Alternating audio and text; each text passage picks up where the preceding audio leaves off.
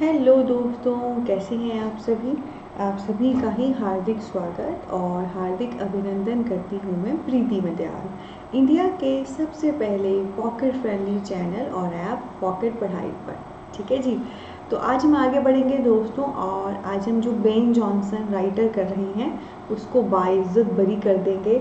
बहुत lecture Ben Jonson को लेकर हुए, उसके वर्क को लेकर हुए। तो आज वाला जो लेसन है वो बेन जॉनसन पे अंतिम लेसन है ठीक है? तो आइए देखते हैं क्या बचा हुआ वर्क है बेन जॉनसन का और उसको माइंड ब्लोइंग तरीके से एक्सप्लोर करते हैं। सो so, दोस्तों पिछले लेसन में मैंने मास्क तक आपको पढ़ा दिए थे बेन जॉनसन का और आज दोस्तों मैं सबसे पहले आपके साथ लूँगी बेन जॉनसन के सॉन्ग्स एंड पोएम्स ठीक है? तो कुछ गीत कुछ कविताएँ जो बेन जॉनसन ने लिखी हैं। तो ये बहुत ही हैरानी की बात है कि Ben Jonson is basically known for his satire for his humour for his हँसी मज़ाक एंड ऑल और पिछले लेसन में बहुत ही अलग सी चीज़ हुई थी हमें देखने को मिला कि उसने ट्रेजिडी वर्क भी लिखे हैं राइट एंड इस लेसन में हैरानी की बात यह है कि पोएम्स एंड सॉन्ग्स जैसे वर्क भी उसने लिखे हैं ना? कुछ हटके हो गया। राइट? तो आइए देखते हैं। It's like Shahrukh Khan romantic hero है। अगर वो कोई विलन का रोल कर ले तो कैसा लगेगा? बस वही चीज़ ये है। तो अभी हम दोस्तों देख रहे हैं जो बेन जॉनसन का वर्क था पोएम्स एंड सॉन्ग करके, जिसे अब हम उसके ड्रामेटिक वर्क्स भी कहते हैं, ठीक है? तो पोएम्स एंड सॉन्ग्स करके ही इसी नेम से वर्क है बेन जॉनसन का। जिसे हम ड्रामेटिक वर्क भी कहते हैं, ठीक है?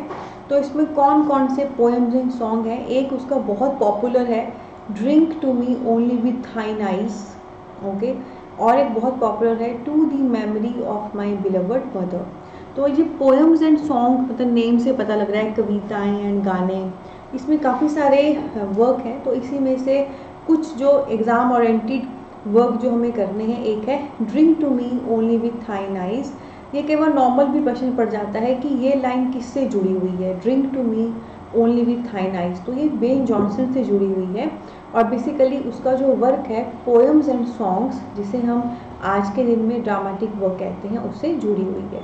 इसके बाद उनका दूसरा जो एग्ज़ाम ओरिएंटेड काम का है that is to the memory of my beloved mother मेरी माँ की याद में, मेरी प्यारी माँ की याद में, ठीक है? तो ये दोनों ही उनके पोएम्स एंड सॉन्ग्स जिसे आज हम ड्रामेटिक वर्क कहते हैं, उससे संबंधित है। यहाँ पर एक चीज़ मैं आपको बताना चाहती हूँ। Drink to me only with thine eyes ये एक रोमांटिक सी चीज़ है कि मुझे पियो अपनी आँखों से, है ना? जैसे कोई लव कपल है एंड वो दूसरी की आँखों में निहार रहे हैं, देख रहे हैं तो वो वाली फीलिंग यहाँ पे है। Drink to me only with thine eyes मतलब अपनी आँखों से मुझे पियो। मतलब बहुत ही रोमांटिक सा ये चीज़ है। और दूसरा है memory of my beloved mother मेरी प्यारी माँ की याद में। तो दोनों ही ये जो वर्क है, ये दोनों ही फुल ऑफ़ इमोशंस हैं। एक जो है, वो अपनी रोमांटिक बिलवर्ड या बिलवर्ड की याद में है drink to me only with thine eyes और एक हमारी माँ की याद में है। तो एक एक एक प्यार जिससे करते हैं, उससे जुड़ा हुआ है, एक पर्सन से इंसान से जो आपका पार्टनर हो सकता है, और एक प्यार जिससे हम करते हैं, हमारी माँ उससे जुड़ा हुआ है, ठीक है?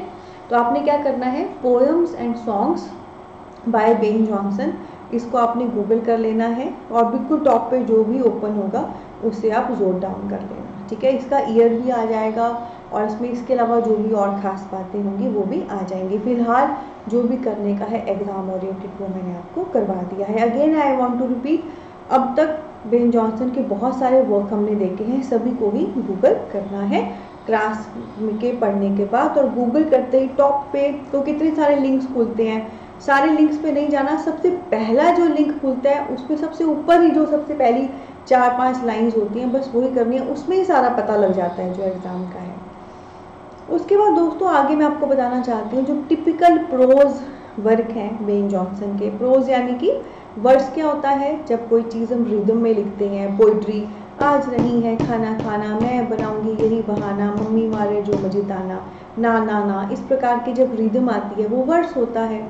पर जब आप कोई चीज़ नॉवल लिखते हो, कोई स्टोरी लिखते हो, जिसमें नॉर्मल पैराग्राफ हैं, जो इसमें रिदम ना हो, उसे हम प्रोज कहते हैं। तो जहाँ पर रिदम वाले पहरे हो उसे हम वर्ड्स कहते हैं। जहाँ पे विदाउट रिदम लिखे जाए पहले हम उसे प्रोज कहते हैं। सो so, दोस्तों प्रोज में खास बात क्या है? यहाँ पर जो प्रोज वर्क हमने करना है बहुत इंपॉर्टेंट है। बेन जॉनसन का उसका नाम है टिम्बर क्या है? टिम्बर ठीक है? और टिम्बर का ही दूसरा नेम है discoveries made upon man and other if you do remember पीछे एपिसोइंग करके मैंने बेन जॉनसन का वर्क कराया था, जिसका सब टाइटल या दूसरा नेम क्या था?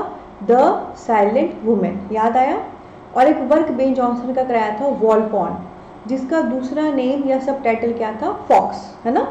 वॉलपॉन का फॉक्स था एपिसोइंग का साइलेंट वुमेन था. ये दोनों ही बेन जॉनसन के वर्क हैं. वैसे ही ये वर्क है टिम्बर टिम्बर ठीक है? तो ये जो वर्क है प्रोज वर्क है बेन जॉनसन का, और इसका दूसरा नेम है discoveries made upon man and other ठीक है? Discoveries upon man and other ठीक है? तो इसकी खास बात क्या है? जैसे नाम से ही आपको पता लग रहा है, अगर आप इसका सब टाइटल देखें discovery made upon man and other जो भी इंसान को लेकर, जो भी डिस्कवरीज हुई हैं, जो भी खोजें हुई हैं, वो इस पर डाली गई हैं। ये बेसिकली दोस्तों शॉर्ट ऐसे की कलेक्शन है। मतलब इसमें आपको छोटे छोटे ऐसे देखने को मिलेंगे। फ्रांसिस बेकॉन की तरह। फ्रांसिस बेकॉन एक राइटर है, मैं आपको आगे पढ़ाऊँगी। फ्रांसिस बेकॉन को दोस्तों हम फादर ऑफ़ ऐसे कहते हैं। यानी कि टिपिकली ऐसे के जो फादर हैं, वो टाइटल हमने फ्रांसिस बेकॉन को दिया है। और हाँ जो चार्ल्स लैम्ब हैं, उनको हमने प्रिंस ऑफ़ ऐसे का जो है टाइटल दिया है। ठीक है? फादर ऑफ़ ऐसे कौन है? फ्रांसिस बेकॉन ठीक है जी? और प्रिंस ऑफ़ ऐसे कौन है? चार्ल्स लैम तो ये जो टिम्बर है, जो प्रोज वर्क है, जिसका दूसरा टाइटल है discovery made upon man and other आदमी और औरों पे डिस्कवरीज यानी कि इसमें आदमियों को लेकर और औरों को लेकर जो भी चीज़ें हैं, वो बताई गई हैं। तो यहाँ पर आपको शॉर्ट शॉर्ट एसेस की कलेक्शन देखने को मिलेगी। छोटे छोटे ऐसे जो है कंबाइंड फॉर्म में देखने को मिलेंगे। और ये वर्क मोर और लेस फ्रांसिस बेकॉन के एसेस की तरह है। तो ये बहुत बड़ी बात है कि फ्रांसिस बेकॉन जिसे हम एसेस का फादर कहते हैं, उसके वर्क के साथ इस वर्क को रिजेंबल किया गया है कि जैसे बेकॉन ने लिखे हैं, वैसे ही ये वर्क हैं, ठीक है? तो क्या है प्रोज वर्क टिम्बर सब टाइटल क्या है? Discovery made upon man and other आदमियों को लेकर जो भी चीज़ें हैं वो इसमें बताई गई हैं ह्यूमन बींग को लेकर छोटे छोटे एसेस की कलेक्शन और बेकॉन से इसे जो है रिलेट किया गया है इस वर्क के लेवल को। तो आपने ये जो टिम्बर है, इसको भी आपने गूगल कर लेना है और टॉप पे जो भी चीज़ें खुलती हैं, वो आपने नोट डाउन कर लेनी है, ठीक है? तो आज हमने किए poems and songs of Ben Jonson and this prose work timber जो भी मुझे लगा करवाने का, समझाने का कॉन्सेप्ट क्लियर कराने का मैंने करा दिया और इसके अलावा आपने इनको गूगल कर लेना है। ठीक है? तो अभी की क्लास में दोस्तों इतना ही है। बाकी आने वाली क्लास में we will be starting a very prominent writer Beaumont and Fletcher इनको हम आने वाली क्लास में लेना शुरू करेंगे। उन पर भी एक दो लेक्चर आराम से जाएँगे क्योंकि ब्योमेंट ऑफ़ लेक्चर को हमने अलग अलग भी लेना है कंबाइन लेवल पे भी लेना है और बहुत अच्छे से पढ़ना है। ठीक है? तो जाकोबियन एज में हमारे बेन जॉनसन, उनका परसोना उनकी पर्सनैलिटी उनके work with complete guidance and technique जो है फिनिश होते हैं अकम्प्लिश होते हैं। तो कैसा लगा दोस्तों आपको सेशन अगर अच्छा लगा है तो सेशन को थम्सअप दें, प्यार दें। और क्या आप ऐसे ही complete English NTA paper two की तैयारी करना चाहते हैं? पॉकेट फ्रेंडली रेट पे? तो आज ही डाउनलोड करिए इंडिया का सबसे पहला पॉकेट फ्रेंडली एजुकेशन या पॉकेट पढ़ाई, जो लिंक है, वो वो इस वीडियो के डिस्क्रिप्शन में दिया गया है, जहाँ एक complete mind blowing English N T A paper two पे आपका कोर्स जो है वेट कर रहा है।